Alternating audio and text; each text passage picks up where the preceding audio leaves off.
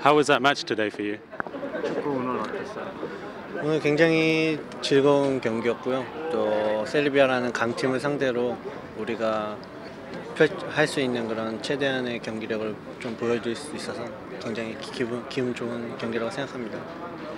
How do you feel playing for Bolton Wanderers now? 네, 뭐 일단 계속해서 경기에 나가고 있고 또 팀에 적응하는데 좀 문제 없이 잘 적응하고 있어가지고 뭐 이제 볼튼에서도 또 좋은 경기력 보여드릴 수 있을 것 같아요. Do you feel prepared for the World Cup? 월컵 준비 어떻게 되고 있어요? 월드컵 준비 잘 돼가고 있고 또 한국 팀이 점점 좀 조직력을 좀 강하게 키워나가는 것 같아서 내년에 있을 월드컵이 개인적으로도 기대됩니다. How is your relationship with the rest of the players, especially Park Ji-sung?